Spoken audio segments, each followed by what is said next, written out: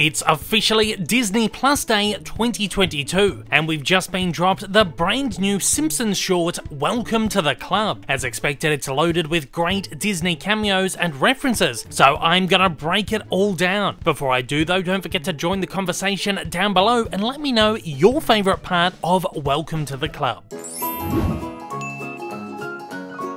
While Welcome to the Club is brimming with appearances from Disney characters, this short certainly isn't as extravagant as last year's The Simpsons in Plusaversary, which many viewers scorned for being nothing but an elaborate Disney Plus commercial. I mean, anyone who made that complaint probably missed the joke altogether. Regardless, this new one is a simpler and honestly more thoughtfully created short. It begins with Bart and Lisa entering an enchanted castle, where Lisa is about to be inaugurated as an actual Disney princess. While the castle isn't one from any particular Disney movie, it is reminiscent of the iconic Disney castles we all know and love. It's worth noting that Lisa's princess dress here is very reminiscent of the one she wore at the end of Plusaversary. Though not exactly the same, it shares many of the same elements. As the two Simpsons discuss her inauguration, they look upon statues of current Disney princesses which adorn the castle of course, we have Cinderella from 1950's Cinderella, Elsa from 2013's Frozen, and Tiana from 2009's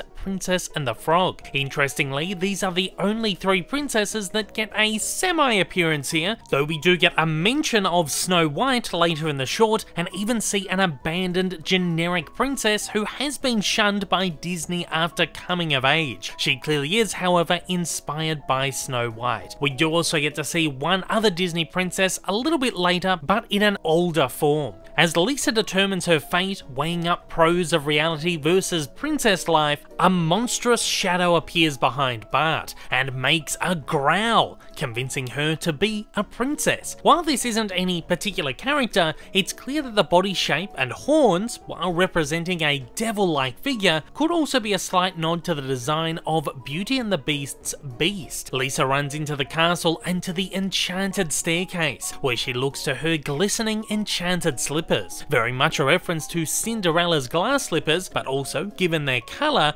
perhaps the ruby slippers from 1939's The Wizard of Oz, despite, of course, it not being a Disney movie, though Disney has tackled the Oz IP a number of times before. After locking her in the castle, which turns out to be some kind of ominous dungeon, Bart reveals himself to have been Marvel's Loki in shapeshift form all along, explaining that horned shadow. Loki, voiced by his MCU actor Tom Hiddleston, notes that he's making a contractually obligated appearance, this is probably just a slight gag, though this appearance could quite literally have been a contractual obligation in his Loki series contract. Hiddleston has previously portrayed Loki in another Disney Plus Simpsons short, The Good, the Bart, and the Loki. Loki additionally appeared in Plusaversary in a dialogue-free role. Loki grumbles briefly about Disney merchandising and then disappears. Next up, Lisa falls into an underground dungeon where she's soon to come face to face with Disney's most ruthless villains. Firstly, she's approached by a shadowy figure who she initially mistakes for Snow White. It however soon reveals itself to be Snow White's evil queen in the form of the old beggar woman holding the poison apple. She even remarks about having just poisoned Snow. Then at once all the other villains villains come slinking out of various tunnels, which are adorned by a large sign that reads Disney Villain Land, the crappiest place on Earth, an obvious reference to Disneyland, which is often touted as the happiest place on Earth. The villain in the logo also appears with a trademark, a sly dig at Disney's highly lucrative villains IP. Amongst the other villains that appear throughout the short are, of course, Ursula from 1989's The Little Mermaid, Cruella de Vil from 1961's 101 Dalmatians, Hades from 1997's Hercules, Scar from 1994's The Lion King, Captain Hook from 1953's Peter Pan, the Queen of Hearts from 1951's Alice in Wonderland, Maleficent from 1959's Sleeping Beauty, Jafar from 1992's Aladdin, and of course, Kaa from 1967's The Jungle Book. It's also worth noting that most of these villains also appeared in the Plus Plusaversary short from last year, and they're appearing here again in the exact same designs. The villains attempt to coerce Lisa into becoming a villain in true Disney style break into song, with Ursula remarking, Villains get to sing diabolical tunes, which become drag show favorites. A reference to not only Ursula having become a target for parody in many drag shows, but to Ursula having been inspired by world famous drag queen Divine in the first place. The prince from Snow White also makes a brief appearance in a magic mirror as Captain Hook sings about how ladies prefer a man with a hook before slicing off his arm. The song features various gags which see Lisa dressed as a witch, with the various villains convincing her to turn to the dark side, a clear parody of the villain origin songs we've all come accustomed to from the classic Disney animations. Lisa questions why she'd want to be a villain when they always die, to which Ursula responds, It beats living happily ever after with some boring guy.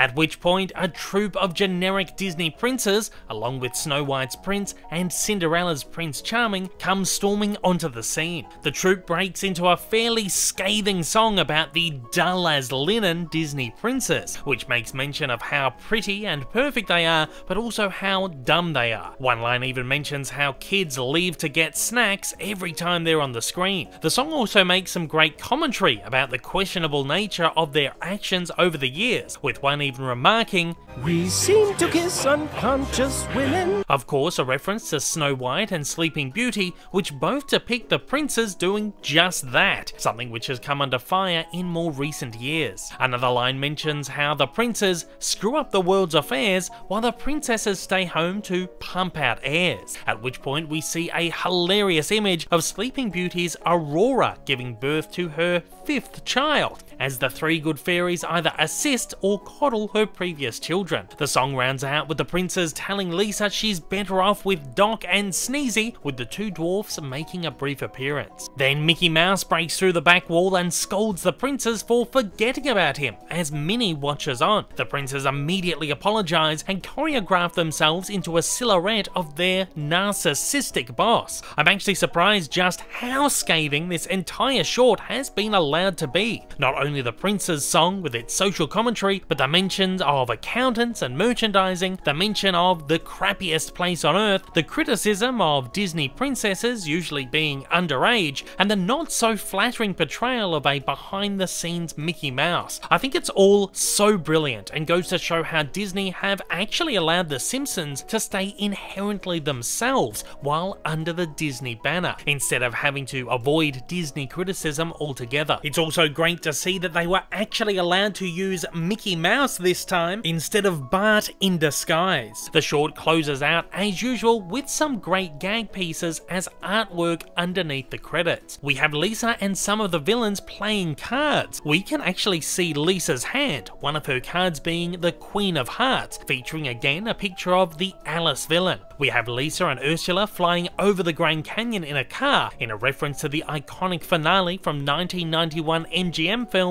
Thelma and Louise. We have Hades appearing at Springfield Elementary as Lisa shows off her volcanic science project. We have Kaa wrapping himself around and hypnotizing Homer just as he does with Mowgli in the Jungle Book. We have Lisa as a lion tamer as she puts her head in Scar's jaw, while the rest of the villains watch on and cheer. We have Captain Hook giving Homer a wedgie with his hook. We have Lisa and the old beggar woman standing outside the Poison Apple store, a clear reference to the Apple store, and we have Cruella eyeing off Santa's little helper, perhaps contemplating a brand new coat. The short closes out once more with a shot of the princes forming the Mickey Mouse silhouette, reminding us all who's boss. This is truly a great little short, and certainly one that those who had issues with last year's should hopefully enjoy and have a little bit of fun with. I'm looking forward to seeing what we get next from The Simpsons and Disney Plus collaborations. And at that, I want to know what was your favourite part of the Welcome to the Club short, and what else are you looking forward to checking out this Disney Plus Day. To keep up to date with all my Disney Plus Day and D23 Expo coverage, make sure to like and subscribe and follow the playlists on your screen.